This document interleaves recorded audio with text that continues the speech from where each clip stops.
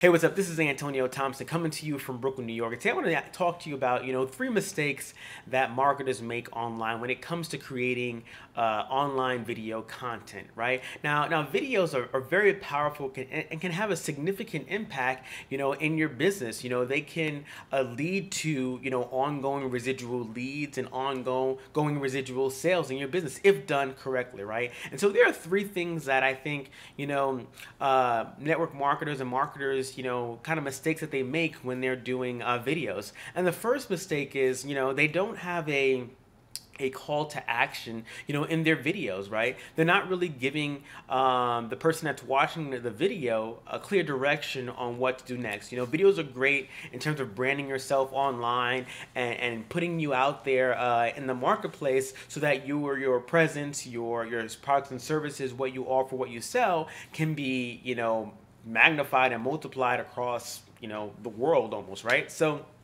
but what happens is when you're shooting a video right you got to be uh, one you know very clear about what you want people to do next right? So at the end of your video you need to say something like you know what you want them to do, right? Do you want them to, you know, click into uh, an opt-in form? Do you want them to email you? Do you want them to, you know, like your, your video or comment on it? You need to tell them specifically what to do next. Now, right? the second mistake that most marketers make is that they they they share content that they think is valuable to their audience um, and there's kind of a disconnect there right? Because you might think it's valuable to your audience and your audience might think differently right? And so what people tend to do is they they, they share videos about you know why you should join my company or why you should buy my product or why you know I, this is the best thing since sliced bread right? Rather than you know really looking at from your prospects eyes and saying okay what are they struggling with? What can i help them with? And providing a solution to that particular problem and struggle right? So look at your videos. You want to think about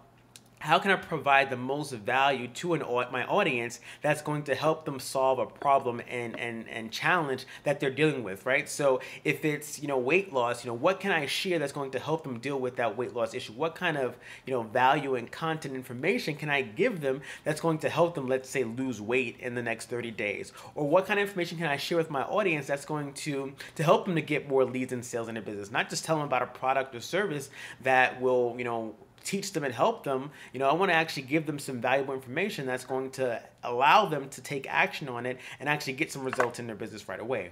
Now, the third mistake that, um, you know, marketers make online is that, you know, we create videos and we put them on sites that are not evergreen. Now, what does that mean? That means that these videos are being posted on like Facebook, uh, Twitter, Instagram, whatever, and they don't have they have a very short shelf life, right? They, they get posted on your your Facebook page, your wall, or whatever, and it goes to people see it in their timeline, but in a few seconds, even less than that, you know, that video is buried beneath other things that are going on on Facebook. So it gets lost, right? And so what you want to do, you want to put that video on a site or a platform where it's actually going to continue to get some engagement and, you know, continue to generate you leads and sales for the long haul. And, you know, you, you can take that Facebook video that you just up uploaded to Facebook or YouTube or uh, Instagram or, or Twitter and, and put that on like your blog where it has a, a longer shelf life, like a lifetime shelf life. Same thing with, with YouTube. You know, take that video from Facebook that you just did and and upload it to YouTube. It, it, will be there for practically forever,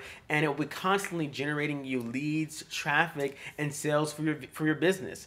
Um, so those are three mistakes that you know marketers typically make um, in their business. The first one being not having a call to action uh, in their videos. The second one being you know not providing quality content, meaning their content is basically saying why they should do something rather than solving a problem and a need of their target audience. And the third uh, mistake is that we don't um, put our videos in places where it's going to get continuous engagement, right? So I hope you got some value out of the short video. And if you did, please like it, share it, and comment on it. If you want to check out this free video I have, uh, it's it's actually uh, of a bluesman guitarist and a downsized, you know, corporate sales um, salesman who actually hacked YouTube and found their mojo. Uh, they were able to suck in 14,000 leads in just eight months for free using YouTube. So click the link at the end of this video and it'll take a, a look at this free video. It's about 24 minutes long, but they're going to show you exactly how they got 14,000 leads in eight months. So take care and I'll see you in the next video. Peace.